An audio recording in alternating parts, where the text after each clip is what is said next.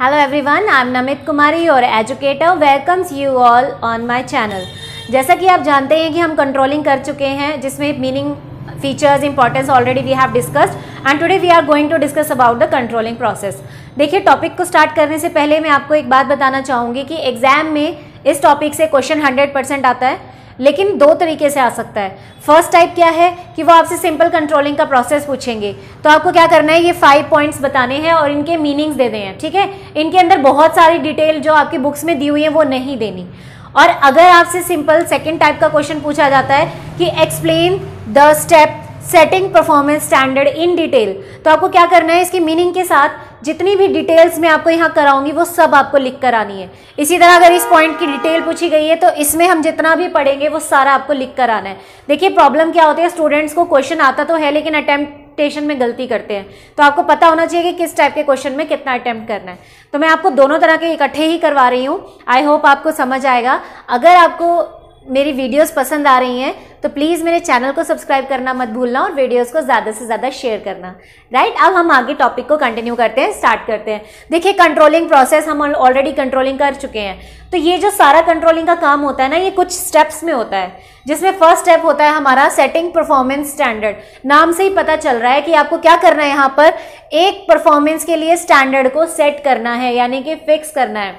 ठीक है? जब भी आप कोई भी काम करने जाते हो, जैसे आप प्लानिंग करते हो, कुछ भी काम करते हो तो एक टारगेट बना लेते हो ना कि मुझे इस टारगेट तक पहुँचना है। तो उस टारगेट को बनाना और उस टारगेट की क्वालिटी क्या होगी, ये सारी चीज़ें चेक करना ही आपका पॉइंट है सेटिंग स्टैंडर्ड्स राइट अब इसके अंदर बहुत सारी चीज़ें आती हैं जो हम वन बाय वन डिस्कस करेंगे।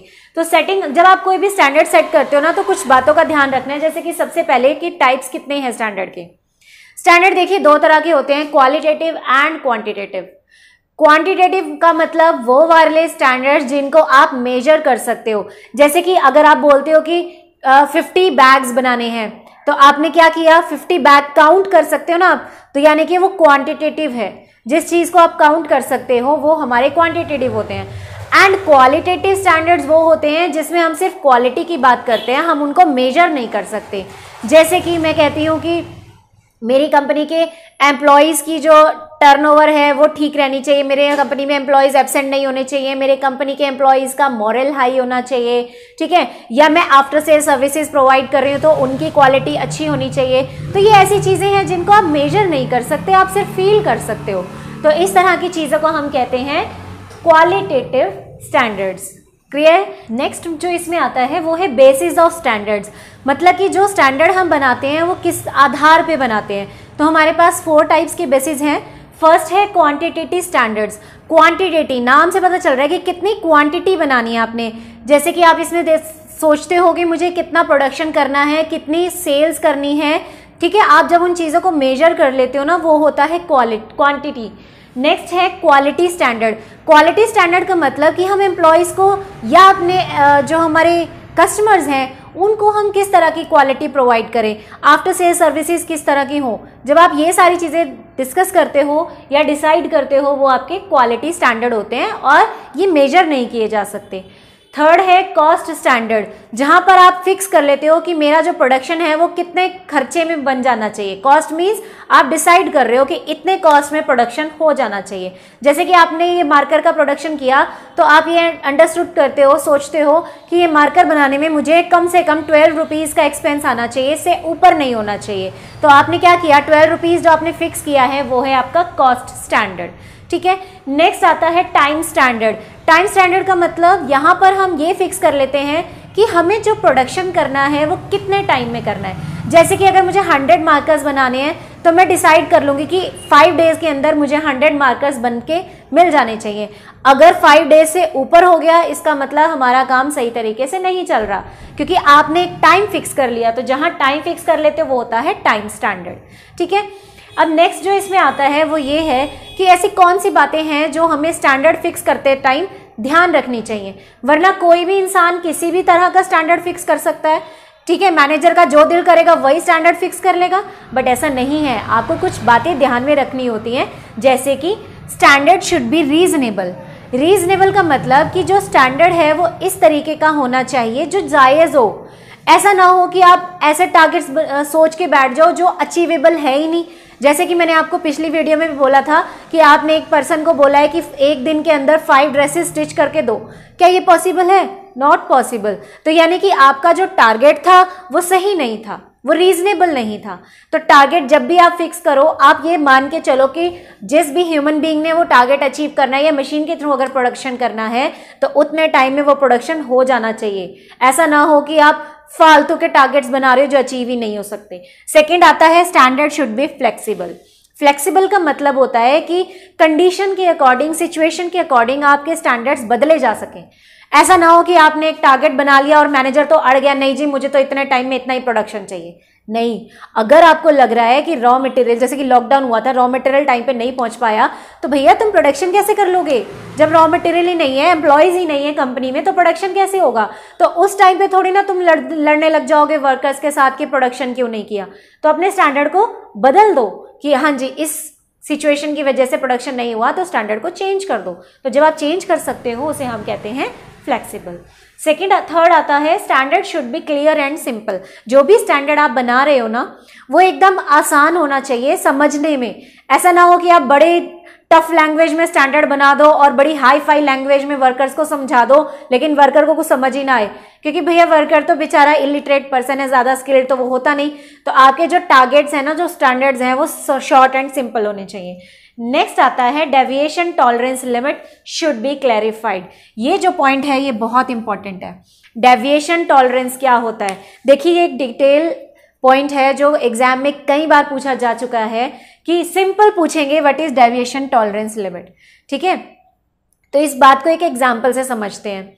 सपोज़ करते हैं कि एक प्रोडक्शन कंपनी है जिसने ये सोचा था कि 1000 मार्कर्स उनको 10 डेज़ में बनाने हैं.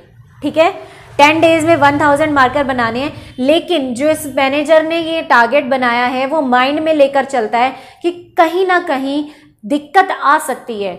या तो वर्कर्स की स्ट्राइक हो सकते हैं, या रॉ मटेरियल टाइम पे नहीं पहुंचेगा, या कोई मशीन ख़राब हो जाए, क्योंकि हम मशीन से प्रोडक्शन करते हैं, कभी कोई भी मशीन ख़राब हो सकती है।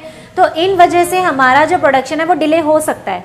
मैनेजर ये बात जानता है, लेकिन वो ये बात अपने वर्कर्स को डिस्क्लोज नहीं करता। ठीक है? अब मैनेजर ने माइंड में सोच लिया कि मैंने 1000 मार्कर्स की बात कर तो दी, लेकिन मुझे लगता है कि कम से कम 950 मार्कर तो बन जाने चाहिए। क्योंकि ये 50 मार्कर का प्रोडक्शन कम हो सकता है। अगर मेरी मशीन ख़राब हो जाए या हो सकता है वर्कर दो चार दिन के लिए छुट्टी पे चला जाए तो प्रोडक्शन नहीं हो पाएगा। ठीक है? तो इस वजह से वो एक थोड़ा सा ना माइंड में कॉन्सेप्ट लेके चलता है कि चलो 50 मार्कर अगर कम बन भी गए ना तो कोई बात नहीं। मुझे इससे कोई ज़्यादा फ़र्क नहीं पड़ेगा। तो जहाँ पर आप ये डिसाइड करते हो ना अपने माइंड में कि हाँ अगर इस टारगेट से इतना कम बन भी जाए तो मुझे कोई फ़र्क नहीं पड़ेगा, मैं टॉलरेट कर सकता हूँ। तो उसे हम कहते हैं डेविएशन टॉलरेंस लिमिट ठीक है कि मैं इस हद तक डेविएशन का मतलब कमी को टॉलरेट कर लूँगा। लेकिन अगर आपने मार्कर का प्रोडक्शन सिर्फ़ 800 कर या किया है या 850 किया मतलब 850 किया है तो क्या वो टॉलरेट करने लायक है? आपने तो कहा था कि थाउज़ेंड बनाने चाहिए, फिर आपने सोचा, चलो नाइन फिफ्टी तो हो ही नहीं चाहिए बट हो कितने रहे हैं? एट फिफ्टी तो ये तो बहुत बड़ी गलती है। इसका मतलब किसी ने कुछ गड़बड़ की है जिस वजह से टारगेट अचीव नहीं हुआ तो वो आपकी टॉलरेंस लिमिट के बाहर हो जाएगा। ठीक है? तो ये कहता है कि जो आप स्टैंडर्ड बना रहे हो, उसमें डेविएशन की टॉलरेंस लिमिट भी आपको क्लियर होनी चाहिए। आपके माइंड में होना चाहिए कि हाँ भाई, इतना प्रोडक्शन अगर कम हो भी गया तो मैं बर्दाश्त कर लूँगा। ठीक है? वो माइंड में होना चाहिए हर पर्सन के। तो देखिए, अगर आपको एग्ज़ाम में सिर्फ़ ये वाला पॉइंट बोला जाता है डिस्कस करने के लिए तो आपको ये सारी चीज़ें इस पॉइंट में बतानी पड़ेंगी। ठीक है? अब हम नेक्स्ट करते हैं point number two that is measurement of actual performance देखिए, आपने स्टैंडर्ड फिक्स कर लिया, आपने उस स्टैंडर्ड के हिसाब से काम भी कर लिया। अब क्या होता है?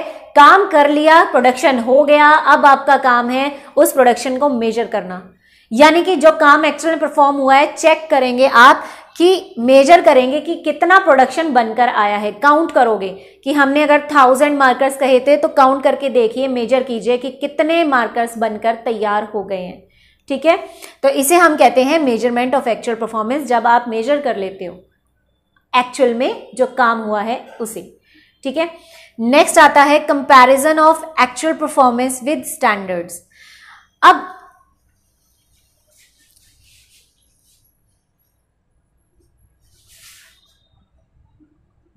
देखिए मेज़रमेंट जो है ना, काम की परफॉर्मेंस की मेज़रमेंट दो तरीके से हो सकती है। या तो जब प्रोडक्शन हो रहा है, उसी टाइम पर आप बीच में जाइए वर्कर्स को सुपरवाइज कीजिए और चेकिंग करते रहिए कि कितना कितना प्रोडक्शन बन रहा है। बीच बीच में जाके चेक करते रहो। और अगर आपको कहीं कमी लगती है तो आप अपने वर्कर्स को उसी टाइम डायरेक्शन दे सकते हो और उनके थ्रू काम को सही करवा सकते हो। एक तो ये तरीका होता है, ठीक है? दूसरा तरीका क्या है कि जब सारा काम कर परफॉर्म हो चुका है, एकदम लास्ट में आप उस टाइम पर अपना परफॉर्मेंस को चेक कीजिए और उसके बाद देखिए कि कमी आई है या नहीं आई है, ठीक है? तो जब आपने काम को मेजर किया दो स्टेप पे, एक तो वर्क इन प्रोग्रेस के टाइम और दूसरा एकदम लास्ट में, ठीक है? तो नेक्स्ट जो पॉइंट आता है that is point number three comparison of actual performance with standard मतलब कि आपने यहाँ जो स्टैंडर्ड फिक्स किए थे, आपने उसके अकॉर्डिंग काम किया और आपने चेक भी कर लिया फाइनली कि आपको एक्चुअल में परफॉर्मेंस कितना हुआ। अब आप इन दोनों परफॉर्मेंस को कंपेयर करके देखोगे कि जो हमने सोचा था वो एक्चुअल में हुआ या नहीं हुआ। जैसे कि मैं एग्ज़ाम्पल ले रही थी कि मुझे 1000 मार्कर्स बनाने हैं तो मैंने एक स्टैंडर्ड फिक्स किया था। उसके बाद मैंने एक्चुअल में मेजर किया तो मुझे पता लगा कि सिर्फ़ 850 मार्कर बनकर आए हैं। अब मैं इनका कंपेयर करके देखूँगी। इस वाले पॉइंट में मैं कंपेयर करूँगी और चेक करूँगी कि क्या मेरा जो टारगेट था वो अचीव हुआ या नहीं। तो जब मैंने कंपेयर किया तो साफ़ पता चल रहा है कि टारगेट अचीव नहीं हुआ। ठीक है? तो अब हम क्या करते हैं इस पॉइंट के अंदर? ये तो इसका मीनिंग हो गया। लेकिन इस पॉइंट के अंदर आपको ये पता होना चाहिए कि इन दोनों में जो डिफरेंस आया है, उस डिफरेंस को हम क्या कहते हैं? मतलब मैंने थाउज़ेंड बनाने थे, बनाए हैं एट फिफ्टी तो ये जो बीच का वन हंड्रेड फिफ्टी का डिफरेंस आया है, इस डिफरेंस को ही हम डेविएशन कहते हैं।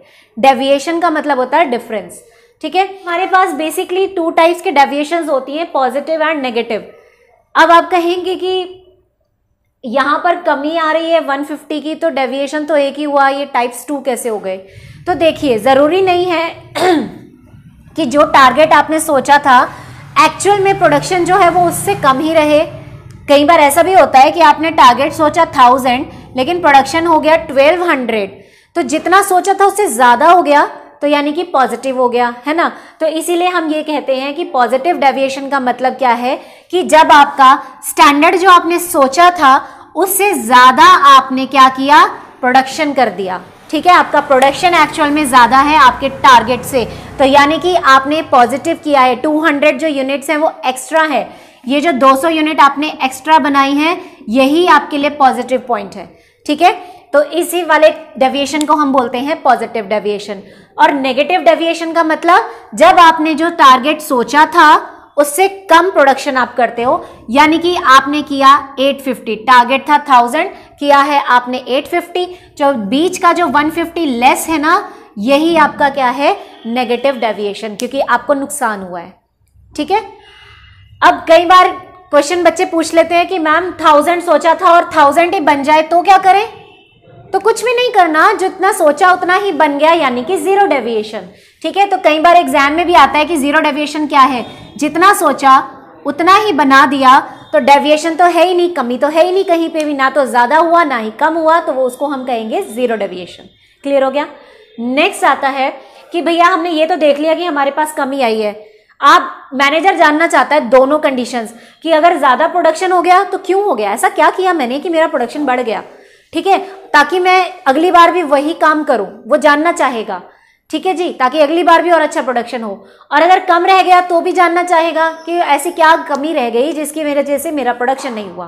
तो जब आप ऐसा जानना चाहते हो, उस पॉइंट को हम कहते हैं एनालाइजिंग डेविएशन यानी कि जब आप डेविएशन की पूरी स्टडी करते हो कि किस वजह से डेविएशन आया। ठीक है? अब ये कैसे होता है? इसमें भी कुछ पॉइंट्स हैं। सबसे पहले आप ये चेक करते हो इज़ स्टैंडर्ड बीइंग अटेन्ड सबसे पहला काम आपका ये चेक करना है कि क्या मेरे स्टैंडर्ड अटेन हो गए हैं? अटेन का मतलब हासिल करना। क्या मैंने जो स्टैंडर्ड बनाया था, वो मैंने हासिल किया? तो आपने यहाँ पर देखा कि टारगेट था 1000 बनाया है 850 तो ये टारगेट अचीव नहीं हुआ अटेन नहीं हुआ। ठीक है? पहले क्वेश्चन का आंसर हमें मिल गया। सेकेंड आप क्या सोचोगे? क्या डेविएशन एक्सेप्टेबल है? इज़ डेविएशन एक्सेप्टेबल बिल्कुल भी एक्सेप्टेबल नहीं है, क्योंकि मेरा जो टॉलरेंस लिमिट था वो कितना था? मैंने सोचा था कि 950 बनना चाहिए तो मेरा टॉलरेंस लिमिटेड तो सिर्फ़ 50 यूनिट्स थी। लेकिन यहाँ तो 150 यूनिट कम बन रही है तो ये तो मेरे टॉलरेंस लिमिट के बाहर है। ठीक है तो इसका आंसर भी मुझे मिल गया कि ये डेविएशन एक्सेप्टेबल नहीं है। नेक्स्ट मैं ये चेक करूँगी, क्या स्टैंडर्ड जो था वो एक्सेप्टेबल था? क्या जो आपने स्टैंडर्ड बनाया था क्या वो सही बनाया था? एक्सेप्टेबल का मतलब क्या ये स्टैंडर्ड सही है? क्या दस दिन में थाउज़ेंड मार्कर्स बनाए जा सकते हैं? तो आपने चेक किया यस बनाए जा सकते हैं, ठीक है? तो आपने ये चेक किया कि हाँ मेरा जो स्टैंडर्ड था वो एक्सेप्टेबल था कि बनाए जा सकते हैं। अब दूसरी बात, अगर आपका आंसर आता है कि जो आपने टारगेट सेट किया है, ये बना नहीं सकते थे आप मतलब आपका जो स्टैंडर्ड है वो एक्सेप्टेबल नहीं है। आपने तो ऐसी चीज़ कह दी कि दस दिन में थाउज़ेंड मार्कर बनाओ जो कि पॉसिबल नहीं है। ना हमारे पास इतनी मशीन्स है, ना वर्कर्स हैं। तो यानी कि आपका जो स्टैंडर्ड था वो गलत था। ठीक है? 850 इसलिए बनकर आया क्योंकि थाउज़ेंड तो बन ही नहीं सकता था। तो ऐसी कंडीशन में अब आप आपको क्या करना पड़ेगा? आपको रिवाइज करना पड़ेगा अपने स्टैंडर्ड को। रिवाइजिंग द स्टैंडर्ड का मतलब स्टैंडर्ड को चेंज करिए। थाउज़ेंड की बजाय इसे कम करिए। ठीक है, अगर 850 बन रहा है तो यानी 850 तो बन सकता है। तो 850 के आसपास रखिए 860 870 900 मतलब कुछ ऐसा टारगेट रखो ना जो अचीवेबल है। तो समझ आई बात कि जब डेविएशन को एनालाइज करते हैं तो किन चार क्वेश्चंस का आंसर फाइंड आउट करना होता है एक मैनेजर को? यहाँ तक समझ आया? अब एक पॉइंट है जो मैं ज़रूर डिस्कस करना चाहूँगी, क्योंकि एग्ज़ाम में उस पर क्वेश्चन कई बार पूछा जा चुका है, और अब तो एमसीक्यू का पैटर्न हो गया तो इस पर क्वेश्चन पक्का ही बनेगा। टॉपिक है डेविएशन टॉलरेंस लिमिट के अंदर।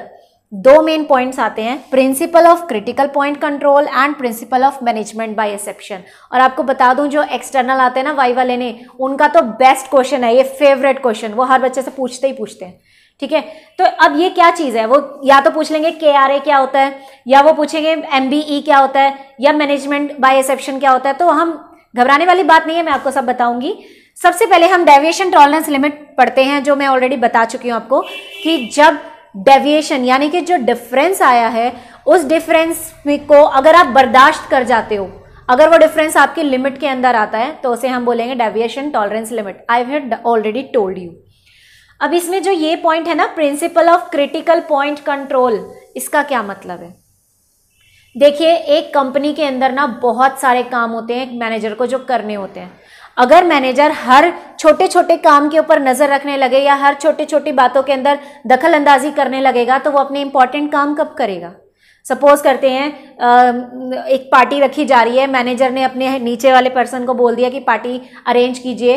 तो वही पर्सन देख रहा है कि कितना खर्चा करना है मेन्यू क्या बनेगा, कौन बनाएगा, कैसे अरेंज करना है, पार्टी कहाँ रखनी है, सब चीज़ें वही डिसाइड कर रहा है। लेकिन अगर यही चीज़ें मैनेजर खुद डिसाइड करने लग जाएगा तो भैया मैनेजर जो है वो बाकी के इंपॉर्टेंट काम कब करेगा? कि प्रोडक्शन डिपार्टमेंट में क्या चल रहा है सेल्स डिपार्टमेंट में क्या चल रहा है, उनसे रिपोर्ट्स मंगवाना, उनके लिए पॉलिसीज़ बनाना, उनके लिए रूल्स बनाना, उनको चेकिंग करना, वो सब काम वो कब करेगा अगर वो पार्टी पर नज़र रखेगा? इसका मतलब क्या होता है कि अगर एक मैनेजर चाहता है कि उसकी कंपनी का काम सही तरीके से चले तो उसे क्या करना चाहिए? उसे सिर्फ़ उन्हीं एक्टिविटीज़ पर फोकस करना चाहिए, उन्हीं चीज़ों पे फोकस करना चाहिए जो कंपनी के लिए इंपॉर्टेंट है। और वो एक्टिविटीज़ जिनको अगर मैनेजर नज़रअंदाज कर देगा तो कंपनी को भारी लॉस हो सकता है। ऐसी एक्टिविटीज़ की तरफ़ मैनेजर का पूरा फोकस होना चाहिए। ठीक है? तो जब मैनेजर कुछ ऐसी एक्टिविटीज़ जो इंपॉर्टेंट है, एकदम क्रूशियल एक्टिविटीज़ की तरफ़ ध्यान देता है और उन्हीं के लिए काम करता है उस चीज़ को हम कहते हैं principle of critical point control यानी कि एक ऐसा प्रिंसिपल है जो हमें यह समझाता है कि मैनेजर को सिर्फ़ क्रिटिकल पॉइंट्स पर फोकस करना चाहिए। क्रिटिकल पॉइंट्स का मतलब सिर्फ़ और सिर्फ़ इंपॉर्टेंट काम पर फोकस करना चाहिए फालतूगिरी पे ध्यान नहीं देना चाहिए। उनके लिए उसने आगे वर्कर्स लगा रखे हैं, अपने नीचे सबॉर्डिनेट्स वो देखेंगे, उसको ये सब देखने की ज़रूरत नहीं है।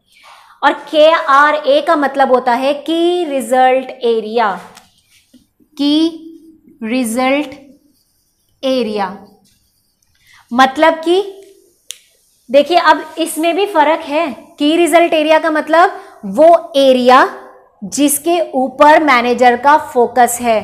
ठीक है? की रिज़ल्ट एरिया मतलब की यानी इंपॉर्टेंट एरिया यानी कि वो ज, त, ज, वो जगह जहाँ पर वो फोकस कर रहा है जहाँ से आपको अच्छा रिज़ल्ट मिलेगा। तो की रिज़ल्ट एरिया का मतलब हो गया कि मैनेजर जब इंपॉर्टेंट चीज़ों पे फोकस कर रहा है, जिन इंपॉर्टेंट चीज़ों पे वो फोकस कर रहा है, उन चीज़ों को कहेंगे के आर ए और अगर वो सिर्फ़ और सिर्फ़ उन्हीं एक्टिविटीज़ पे फोकस कर रहा है, किस प्रिंसिपल की वजह से कर रहा है, उस प्रिंसिपल को कहेंगे क्रिटिकल पॉइंट कंट्रोल दोनों में बहुत छोटा डिफरेंस है। नेक्स्ट इसमें आता है principle of management by exception इसका मतलब क्या होता है? कि मैनेजर को सिर्फ़ और सिर्फ़ उन्हीं एक्टिविटीज़ या उन्हीं डेविएशंस के ऊपर वर्क करना चाहिए जो डेविएशंस उसकी टॉलरेंस लिमिट के बाहर है। इसका मतलब क्या बना? कि जैसे कि मैंने सोचा था कि थाउज़ेंड मार्कर बनाने हैं, लेकिन बने अगर नाइन फिफ्टी बनते हैं तो जो बीच का पचास का डिफरेंस आया वो मैं बर्दाश्त कर लूँगी, क्योंकि मैंने ऑलरेडी वो चीज़ माइंड में रखी हुई थी कि फिफ्टी फिफ्टी यूनिट्स अगर कम बन गई तो मैं बर्दाश्त कर लूँगी। लेकिन अगर मेरा टारगेट एट फिफ्टी बनता है तो ऑब्वियसली वो मेरे टॉलरेंस लिमिट के बाहर चला गया। तो तुरंत मैनेजर को उस टॉलरेंस लिमिट के बाहर जाने वाली डेविएशन पे काम करना पड़ेगा। उसे चेक करना पड़ेगा कि अगर 850 बने हैं तो क्यों बने हैं? क्या कारण है जिसकी वजह से मेरा टारगेट अचीव नहीं हुआ? और तुरंत उसे स्ट्रिक्ट एक्शन उठाना चाहिए कि ये गलती दोबारा ना हो। ठीक है? तो ऐसी चीज़ को हम बोलते हैं मैनेजमेंट बाय एक्सेप्शन यानी कि मैनेजर को सिर्फ़ तभी काम करना चाहिए जब डेविएशंस उसकी टॉलरेंस लिमिट के बाहर चली जाए। अगर डेविएशन टॉलरेंस लिमिट के अंदर आ रही है तो मैनेजर को कोई स्टेप उठाने की ज़रूरत नहीं है। जैसे कि एक और छोटा सा एग्ज़ाम्पल डेटर्स सभी को पता है क्या होते हैं? कंपनी में लोगों ने अगर आपका सामान उधार पे खरीदा है तो वो एक टाइम के बाद आपको पैसा देने की प्रॉमिस करते हैं। तो मैंने ये मान रखा था कि थ्री परसेंट लोग ऐसे हैं थ्री परसेंट जो मेरा पैसा वापस नहीं करेंगे। मैंने ऐसा टॉलरेंस लिमिट बना ली। लेकिन हुआ क्या? थर्टी परसेंट लोग, यानी कि तीस परसेंट लोग ऐसे हैं जिन्होंने मेरा पैसा नहीं दिया। तो भैया, ये तो बहुत प्रॉब्लम वाली बात हो गई। अगर तीन परसेंट लोग पैसा नहीं देते तो मैं छोड़ देती उस बात को। लेकिन अगर तीस परसेंट लोग पैसा नहीं दे रहे तो ये तो बहुत बड़ी प्रॉब्लम है। तो मैनेजर को उसी टाइम स्ट्रिक्ट एक्शन उठाना पड़ेगा उस चीज़ को इंप्रूव करने के लिए। ठीक है जी? तो ये पॉइंट्स क्लियर हो गए। अब एक छोटा सा पॉइंट और आता है टॉपिक आपकी बुक में भी दिया होगा causes of deviation it's not so important ये ज़्यादा इंपॉर्टेंट नहीं है, फिर भी मैं आपको बता रही हूँ कि डेविएशन के क्या कारण हो सकते हैं। किन कारणों से आपका डिफरेंस आ सकता है? ह्यूमन कॉजेज ह्यूमन कॉजेज का मतलब या तो आपके मैनेजर्स बहुत अच्छे हैं वर्कर्स बहुत अच्छे हैं, या फिर बिल्कुल ही कामचोर हैं। अगर आपके मैनेजर्स वर्कर्स एम्प्लॉयज़ सारे बहुत अच्छे हैं तो ऑब्वियसली आपका वर्क जो है वो बहुत ज़्यादा होगा और आपकी जो डेविएशन है वो हमेशा पॉजिटिव ही आएगी। और अगर आपके जो वर्कर्स हैं, वो नालायक हैं तो ऑब्वियसली आपकी डेविएशन हमेशा नेगेटिव आएगी। तो ह्यूमन कॉजेज ह्यूमन की वजह से डेविएशन होता है। अनसर्टेन इवेंट अनसर्टेन का मतलब अचानक से स्ट्राइक हो जाना लॉकआउट हो जाना लॉकडाउन हो जाना, ठीक है? इनकी वजह से अगर आपका प्रोडक्शन कम हो जाता है तो उसको हम कहते हैं uncertain events then wrong standard यानी आपने जो स्टैंडर्ड बनाया था, वो रॉन्ग बना दिया। गलत स्टैंडर्ड बनाओगे तो भैया वो अचीव नहीं होगा। ठीक है ना? तो ये क्लियर हो गया यहाँ तक। अब जो हम लास्ट टॉपिक ये वाला हमारा जो मेन टॉपिक है, जिसके अंदर हम सब पॉइंट्स भी कर चुके हैं, इसमें हमारा लास्ट स्टेप रह गया है टेकिंग करेक्टिव एक्शन सबसे पहले आपने क्या किया था? स्टैंडर्ड फिक्स किया था। फिर आपने उसके हिसाब से काम भी किया और उसको मेजर कर लिया। फिर आपने उन दोनों को कंपेयर किया। कंपेयर करने के बाद आपको डेविएशन मिले। फिर आपने डेविएशन में फाइंड आउट किया कि किन कारणों की वजह से डेविएशन हुआ है। उसके बाद अब आप क्या करोगे? लास्ट में करेक्टिव एक्शन उठाओगे। करेक्टिव एक्शन का मतलब आप कुछ ऐसे इंपॉर्टेंट स्टेप्स उठाओगे जिनकी वजह से जो डेविएशन पहले आई थी या जो गलतियाँ आपने पहले की थी, वो गलतियाँ फ्यूचर में ना दोहराओ। सिंपल सी बात है कि डेविएशन आपने एनालाइज किया ना, आपको पता चल गया कि इन इन कारणों की वजह से मेरा प्रोडक्शन नहीं हो पाया। तो ठीक है, अब इन कारणों के या इन रीजंस के आपने क्या करने हैं? सोल्यूशन फाइंड आउट करने हैं। इन समस्याओं का समाधान निकालना है और फिर फ्यूचर में उन सोल्यूशंस को अप्लाई करना है ताकि फ्यूचर में फिर कभी डेविएशन ना हो। ठीक है? तो ये टॉपिक यहीं पर एंड होता है। अब आप ये समझ लीजिए कि एग्ज़ाम में लिखना कैसे है। मैंने आपको बताया सिंपल क्वेश्चन आएगा तो सिंपल ये लिखकर आपको इनके मीनिंग्स देने हैं सिंपल ठीक है? बहुत डिटेल में नहीं जाना। लेकिन अगर आपसे पॉइंट पूछ लिया जाता है, ये पूरा बताइए तो ऑब्वियसली आपको ये सारा लिखना पड़ेगा। Meaning then analyse deviation this meaning this meaning सब कुछ, क्योंकि सिक्स मार्क्स लेने हैं तो सारा लिखना पड़ेगा। क्लियर हो गया? तो प्लीज़ अगर आपको कोई डाउट हो तो कमेंट बॉक्स में कमेंट ज़रूर करना। And thank you